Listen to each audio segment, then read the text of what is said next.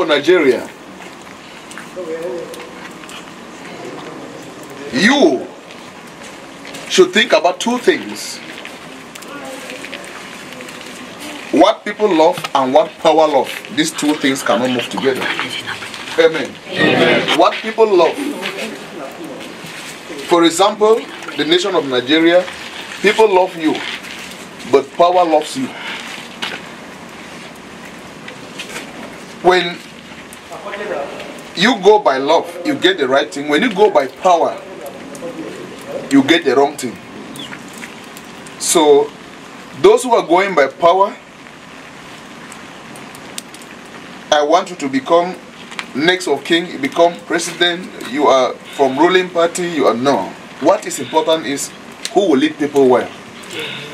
When you say I am from ruling party, I have to continue what you have been doing. You are only putting me to more danger. Because you who is coming in from ruling party, you will go there and be on that throne because of power, not because people want you to be there. And when you go and sit there because of power, this is a problem. Your health is in danger. So I don't know. Are you going to be taking care of your health, the state of your health, or the state of the country? This is worsening the economy. Stretch your hand to them and pray for them. In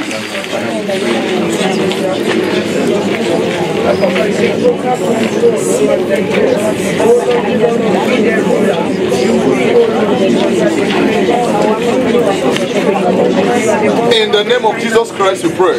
Amen. So, what people want is not what they will see. People want you, but power wants you. People want you, the younger one. Power wants the older one. God wants the younger one. Leadership is a calling, it is not a right.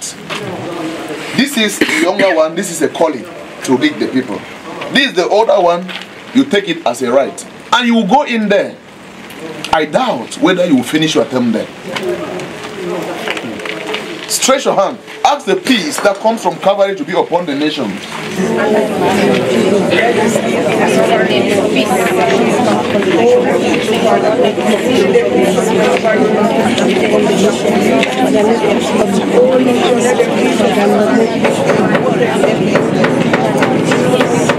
Jesus Christ's name we pray. Amen.